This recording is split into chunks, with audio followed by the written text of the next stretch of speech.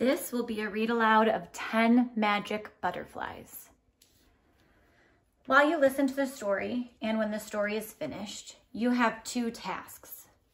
You will write an addition sentence for each combination of 10 that the book shows of flowers and butterflies. So you will write the number of flowers you see plus the number of butterflies that you see to get our total of 10. There will be several combinations. You will also draw them on 10 frames. So for each combination that you find, if you see five flowers and five butterflies, on your 10 frame, you will show a picture that matches. So you might draw five simple flowers and five simple butterflies. 10 Magic Butterflies by Danica McKellar.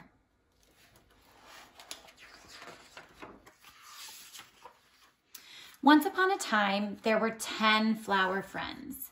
Were they always happy? Well, that depends. All day long, they soaked up the sun, talking and laughing and having fun.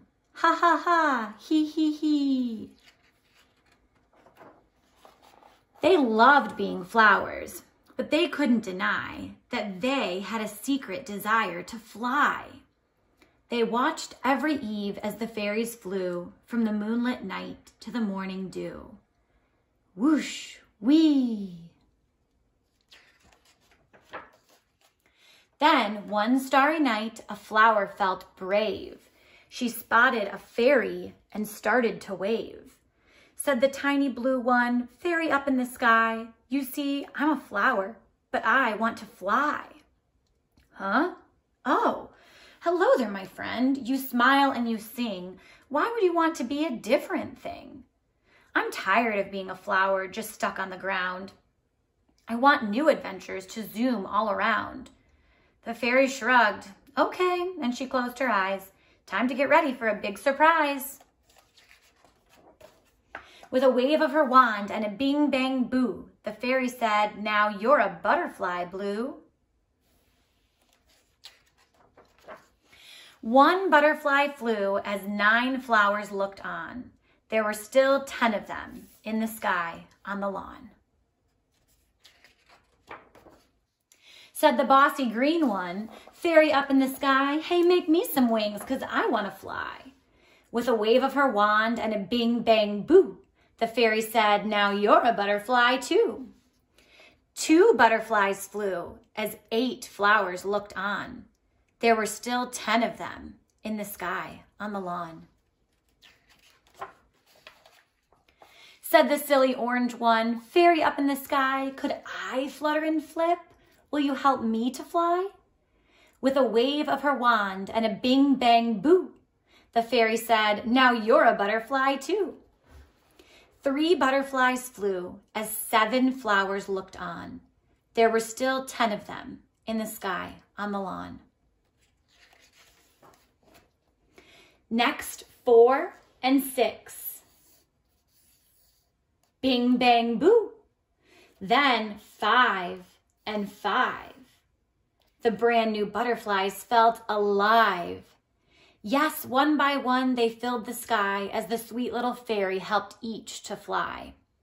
The ten new butterflies flew all night, zooming and swooping. What a sight! Zing, zang, zoom. When morning came and the sun peeked through, their wings were tired and the wind really blew. Whoa, bonk, thud. They watched other flowers soak up the sun as beads and birds, bees and birds kissed them one by one. And they said, and then they said together, all 10, we actually want to be flowers again. It was fun to fly, but now we're sad. We really do miss all the things we once had. Sniff, sniff. It wasn't bad when we were flowers, so strong and sturdy with lots of powers. We made perfume and cleaned the air, gave plenty of nectar for all to share. I thought you'd change your mind, she cried. The grass is always greener on the other side. Sometimes we wish for different things, to change color or size or even get wings. but big and tall or short and small, being ourselves is best of all. So let's go back to you being you with fairy dust and a bing, bang, boo. Yippee! Then 10, 9, 8, 7, 6, 5, 4. They floated down to the garden floor. Now seven on the ground and three, two, go. Then three, two, one, zoomed high to low. Was that a dream or did they fly? Can flowers end up with wings in the sky? Who knows what happens while we're asleep? Could dogs become horses and bugs become sheep? Neigh, ba? Yes, magic surrounds us. It takes many forms, from rainbows and moonlight to tropical storms. Frogs come from tadpoles that swim in the stream, and each night you grow with every dream. Shh. So don't be surprised if this story is true and magical butterflies come to see you. You might see one fluttering late, late at night or in your dreams. Sleep tight. Now remember, your job is to write an addition sentence for each combination of 10 that the book shows of flowers and butterflies, like this. And then you should draw them on 10 frames, like this. Happy solving!